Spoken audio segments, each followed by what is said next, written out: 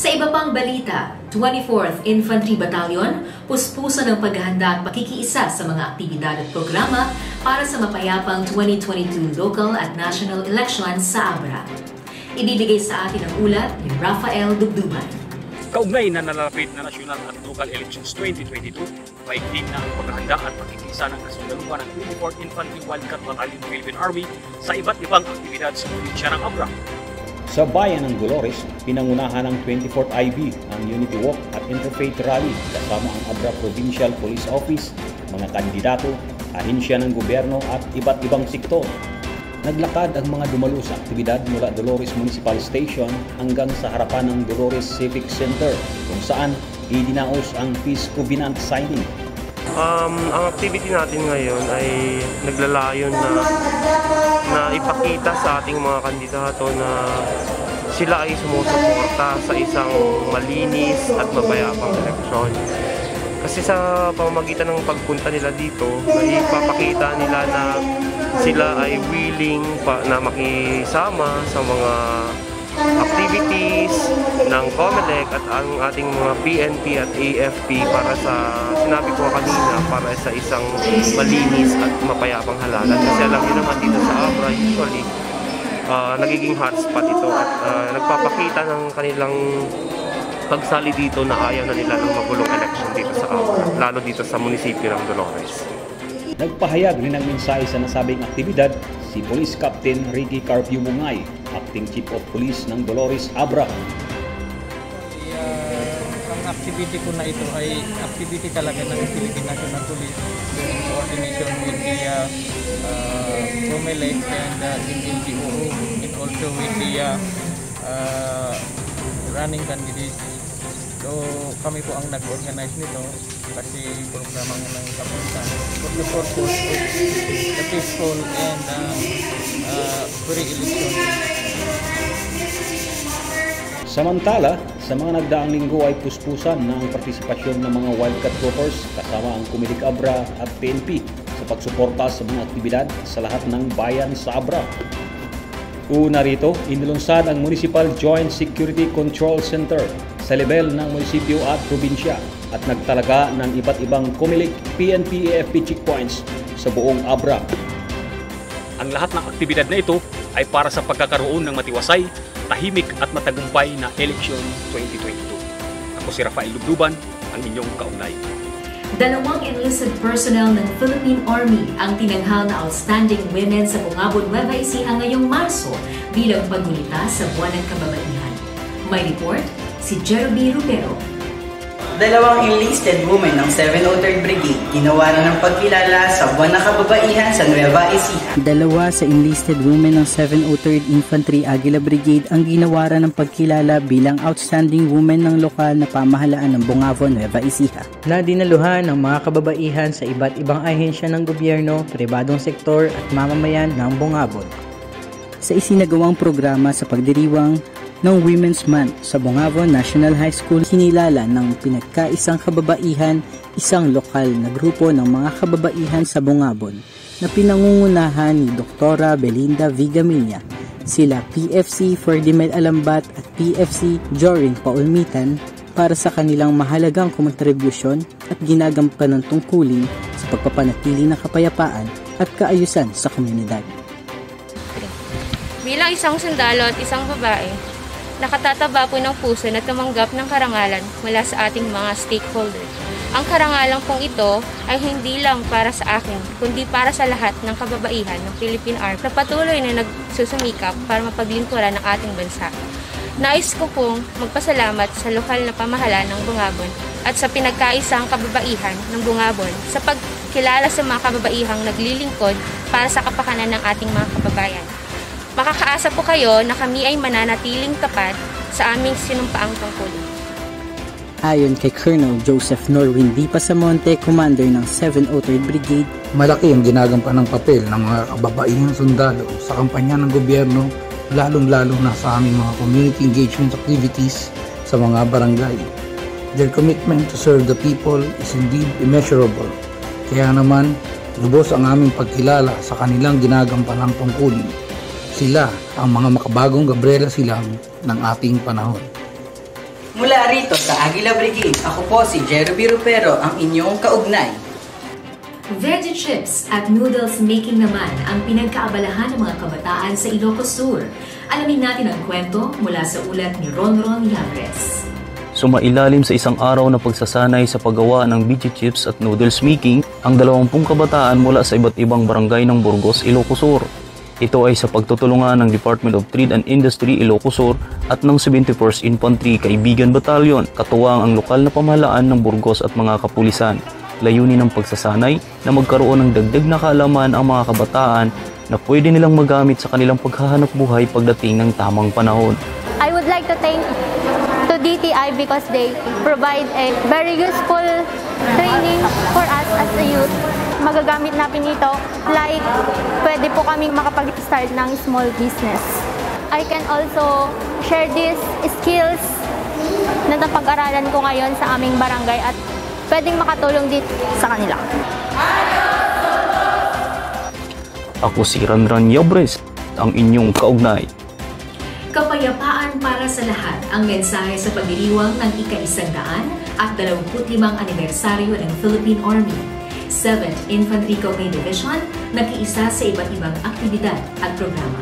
May ulat si Judith Beth Chavez. Sabay-sabay na nagsagawa ng flag raising ceremony at reaffirmation ng Oath of Allegiance ang mga sundalo ng Philippine Army bilang bahagi ng selebrasyon ng ika-isandaan at 25 anibersaryo ng Philippine Army. Kaugnay nito, ang 7th Infantry Kaugnay Division, Philippine Army sa pangunguna ng commander na si Major General Andrew D. Costello ay nakisa sa nasabing gawain na isinagawa sa harap ng Division Headquarters, Fort Magsaysay, Palayan City, Nueva Ecija. Nagsagawa rin ng parehong aktibidad ang bawat brigade at batalyon sa kani-kanilang kampo. Sa pamamagitan ng ceremonial donning, ipinakilala naman ng bagong Philippine Army patches ang bagong authorized seal na magagamit ng lahat ng sangay ng Armed Forces of the Philippines.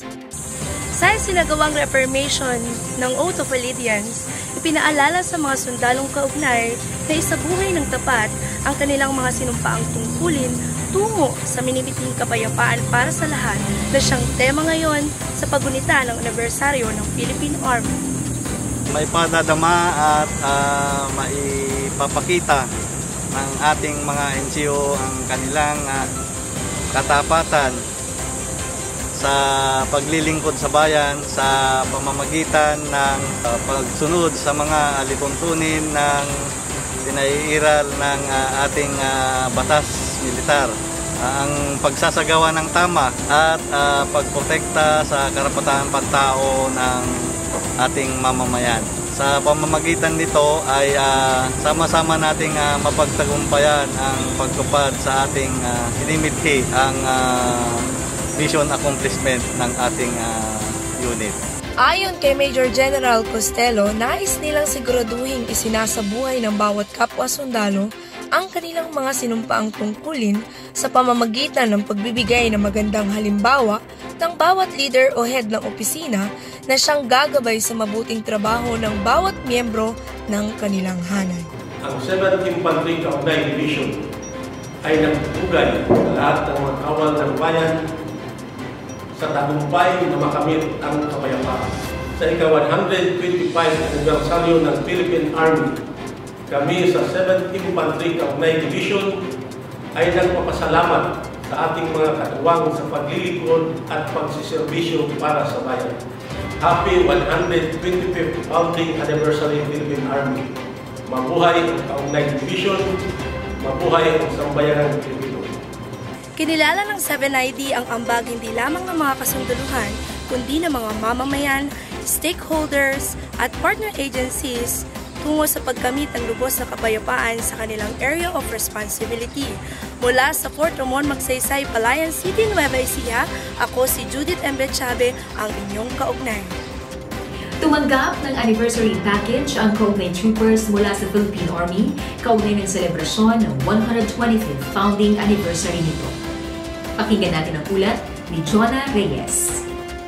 Nagtipon-tipon ang mga kasundaluhan at miyembro ng Civilian Armed Force Geographical Unit Active Auxiliary ng 7th Infantry Kaugnay Division Philippine Army para makiisa sa simultaneous ceremonial handover ng mga kagamitan at military vehicles. Bahagi ito ng pagdiriwang ng ika-125 anibersaryo ng Philippine Army. Pinangunahan ni na Assistant Division Commander Brigadier General Luis Rex D. Bergante, Chief of Staff Eugene M. Mata, at Assistant Chief of Staff for Personnel G1, Lieutenant Colonel Emeterio Felix M. Valdez, ang pagkakaloob ng anniversary package sa mga kaugnay trooper dito sa Fort Ramon Magsaysay, Palayan City, Nueva Ecija. Samantala, kasabay ng lahat ng mga unit ng Philippine Army sa buong bansa, kanya-kanya ring nakiisa ang bawat brigade at batalyon ng 7ID sa aktibidad sa pamamagitan ng video teleconferencing. Kabilang sa anniversary package ang individual clothing and equipment items gaya ng battle dress uniform, combat boots, athletic uniform, medyas, black rubber shoes at dog tag. Maliban dito ay mayroon ding food packs, Army Housing Office leaflets, carbine 5.56mm T4, compass, Harris handheld radio, blade whip antenna, mobility assets tulad ng Toyota Hilux Conquest pickup trucks at Kawasaki City 150 motorcycles para sa bawat brigade at batalyon. Ayon kay Assistant Chief of Staff for Logistics G4, Lieutenant Colonel Yotter S. Libiste, ang mga kagamitan at sasakyan ay makapagpapaangat sa moral ng mga sundalo at makatutulong sa kahandaan ng kanilang mga unit. Uh, ang mga ito ay uh, magbibigay ng uh, additional na na assets natin para makatulong sa kampanya natin na tapusin ang uh, local uh, communist armed conflict. Ating mga bagong isyong mga kagamitan ay pangalagaan upang ma mas ma matagal nating pakinabangan at lalo tayo makapagserbisyo sa, at, sa ating mga nasasakupan. Samantala, nagpapasalamat si Ka Irene F. De Vera ng 7 Division Ka Affairs Unit 7 IDPA sa mga bagong uniforme at kagamitan na ipinagkaloob sa kanila na patunay umano ng pagpapahalaga ng Philippine Army sa KAA. It's an honor na maging parte kami ng uh, founding anniversary ng Philippine Army at nagagalak din po kami at nagpapasalamat dahil hindi, hindi kami nakakalimutan ng Armed Forces. Hinihimok naman ng commander na 7ID na si Major General Andrew D. Costello ang mga kaugnay troopers na ipagpatuloy ang maayos na trabaho at panatilihin ang seguridad at kapayapaan sa kanilang area of responsibility. Mula dito sa Kaugnay Hall, Fort Ramon Magsaysay, Palayan City, Nueva Ecija. Ako si Jonah Reyes, ang inyong kaugnay.